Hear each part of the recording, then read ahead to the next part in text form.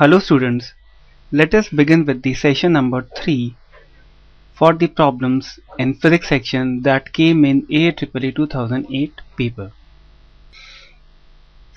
Now the first problem is a wave traveling along the x-axis is described, is described by the equation y as a function of xt equal to 0, 0, 0 0.005 cos alpha x minus beta t if the wavelength and time period of the waves are 0.08 meter and 2 second respectively, then alpha beta in appropriate units is. We know that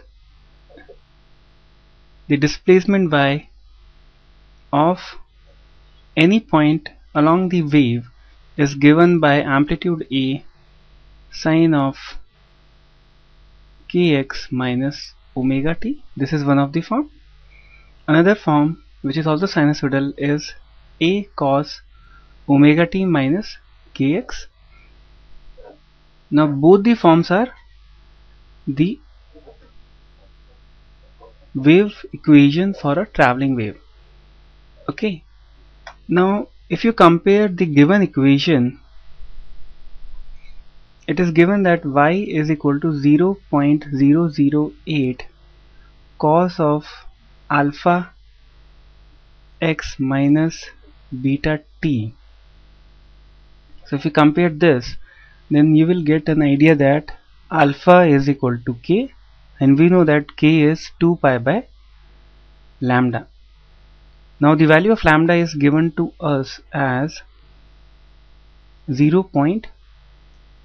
0.08 now this is equal to 200 pi by 8 or 25 pi. So, so the value of alpha is 25 pi. Similarly, the value of beta, if you compare the two equations, this beta must be omega. So beta is equal to omega and omega can be written as 2 pi by capital T which is time period. Now the time period is given to us as 2 seconds. So you have the value of beta as pi. So alpha beta is 25 pi by pi. Okay? So the correct answer is A